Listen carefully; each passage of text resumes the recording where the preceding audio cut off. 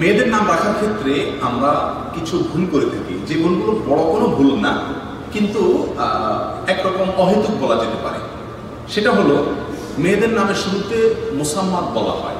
যদি এই কালচারটা এখন আস্তে আস্তে উঠে গেছে, কিন্তু এখনও আছে। গ্রামাঞ্চলে বা অনেক ক্ষেত্রেই অনেক জায়গাতেই আছে। মেয়েদের নাম রাখার শুরুতে কি লাগে? মোসাম্মদ। মোসাম্মাদ এটা আরবি একটি শব্দ। যার অর্থ হলো, নামকরণ করা হয়েছে, নাম রাখা হয়েছে। তাহলে একটা মেয়ের নাম যদি আপনি রাখেন মুসাম্মাদ ফাতেমা, তাহলে তার অর্থ দাঁড়ায়, এই মেয়েটার নাম রাখা হয়েছে ফাতেমা। এক লাইন নাম হয়ে গেল না। তাহলে ফাতেমা তো নাম রাখা হয়েছে আমরা দেখতেই পাচ্ছি, তাহলে মুসাম্মাদ বলার তার কোনো যুক্তি নেই। অতএব এটা একরকম অনর্থক এবং অহেতু। নামের শুরুতে মুসাম্মাদ যুক্ত করা। বিশেষ করে এখন আইডি কার্ড, জন্ম নিবন্ধন এবং আপনার পাসপোর্ট ইত্যাদি বার্থ সার্টিফিকেট ইত্যাদি স্কুলে ভর্তির সময় আমাদের এইগুলো খেয়াল করা উচিত। মেয়েদের নাম শুধু নাম থাকবে, ছেলে হোক, মেয়ে হোক, সবাই সিঙ্গেল নাম থাকবে। ডাবল ট্রিপল নাম রাখা, এটা সুন্নার খেলা কোথাও বুঝে আসছে? রসুল আকরম সাল্লাহ আসলাম সাহাবা একরাম একটা নাম রাখতেন।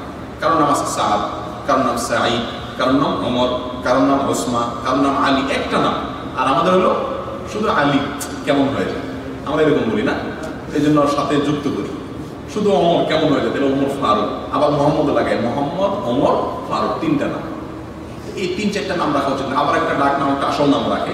আর মেয়েদের ক্ষেত্রে তো জটিলতা বললাম এই যে মোসাম্মদ, ফাতেমা, মোসাম্মদ, আয়েশা, এই মোসাম্মদ যুক্ত করে। এটা একটা ভুল।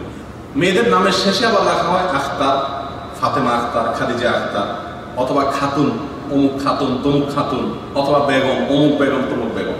এগুলো একরকম অনর্থক। যদিও এগুলো এখন রাখা হয় না, কিন্তু কোনো কোনো ক্ষেত্রে কোনো কোনো মানুষ দেখা যায় রাখে। এগুলো অনর্থক। আপনি একটা মেয়ের নাম রাখছেন ফাতেমা। কমপ্লিট। তার সঙ্গে তার শেষে বাবার নামটা যুক্ত করতে পারে। কিন্তু ফাতেমা খাতুন, এটা রাখার কোনো দরকার নেই। খাতুন শব্দটা তো বোন, মেয়ে। মানে এটা এটা মেয়ের নাম।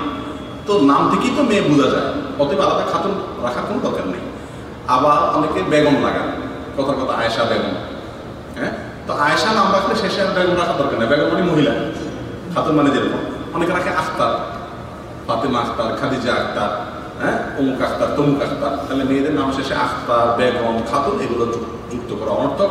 আবার শুনতে মুসলমান যুক্ত করা অনর্থক। শুধু নামটা রাখব, এটাই হলো সুন্নাসম্মত এবং এটাই হলো বিশুদ্ধ এবং এটাই হলো সঠিক। আল্লাহ আমাদের বুঝাতে